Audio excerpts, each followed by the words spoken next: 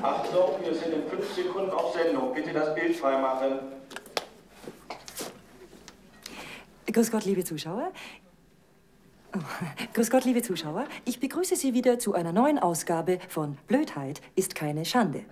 Ganz besonders erfreue ich mich, Ihnen heute unseren Champion präsentieren zu dürfen, bei dem wir mit unseren Kameras zu Gast sind. Ich begrüße Herrn Willi Herbstle.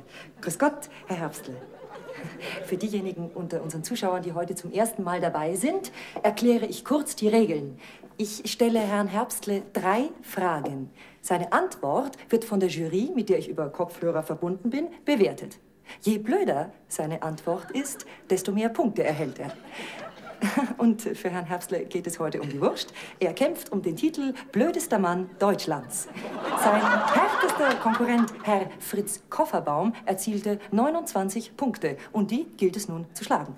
Herr Herbstle, sind Sie bereit? Ja, selbstverständlich. Ein bisschen nervös, nicht? Äh, meine Schwiegermutter sagt immer, ich bin viel zu blöd, um nervös zu sein. Na, denn mal toi, toi, toi. Und hier haben wir schon die erste Frage.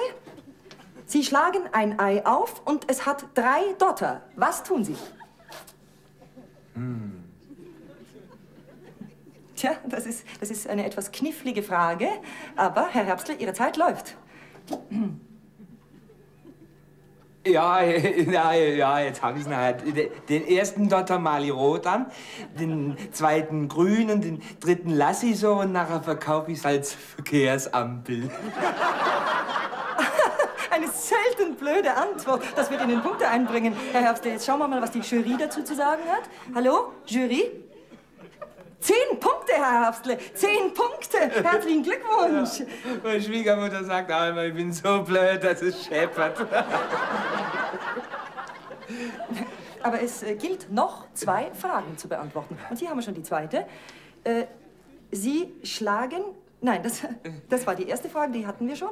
Äh, Sie wollen gehen, doch Ihre Uhr bleibt stehen und Sie merken es nicht. Was tun Sie?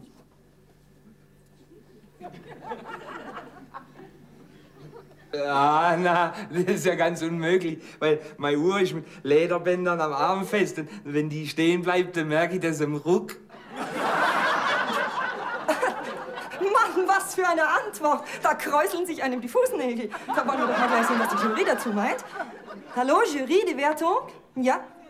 Zehn Punkte! Herr Herbstle, Sie sind nahe dran. Zehn Punkte. Aber jetzt aufgepasst. Jetzt kommen wir zu Frage Nummer drei. Sie haben die Wahl zwischen einer Orange und einem Rubin. Was wählen Sie? Ja, den Rubin. Und wieso? Na, wenn ich einen Rubin esse, habe ich nachher nicht so klebrige Finger. Das, das verspricht ein Kopf an Kopfrennen zu werden. Mein Gott. Ja, hallo, Jury? Wie ist die Wertung? Ach, ja, Sie beraten sich noch einen Augenblick. Es dauert einen Moment. Ach, mein Gott, 10.000 Mark. Werden Sie sie gewinnen? Gott, die Spannung steigt ins Unerträgliche. Ja, die Wertung. Die, We die Jury gibt Ihnen zehn Punkte, Herr Herbstle. Zehn Punkte, zehn Punkte, wird das reichen? Ein Augenblick. Zehn Punkte. Äh, für die erste Frage zehn. Macht zehn. Für die zweite Frage zehn. Macht 20. Und noch jetzt zehn. Macht 30 Punkte. Herr Herbstle, Sie haben soeben 10.000 Mark gewonnen. Herzlichen Glückwunsch, oh, Herr Herbstle. Ich kann es doch gar nicht fassen. Und, wie fühlen Sie sich? Ja, ja, schon nicht übel. Ne? Das, das kann ich mir denken. Herr Herbstle, Sie haben den Titel gewonnen. Sie sind blödester Mann Deutschlands. Herbstle, Herzlichen Glückwunsch. Ja, da wird sich meine Schwiegermutter aber freuen. So, und nun kommen Sie ein bisschen zur Kamera, damit man Sie auch sieht. Das äh, kommt halt mal vor. Herr Herbstle, jetzt drehen wir uns wieder ein bisschen so. Ähm, was die Leute sicher jetzt von Ihnen wissen wollen, ist, äh, was werden Sie denn nun mit dem vielen Geld machen? Geben Sie es vielleicht Ihrer Schwiegermutter? Ich bin doch nicht blöd.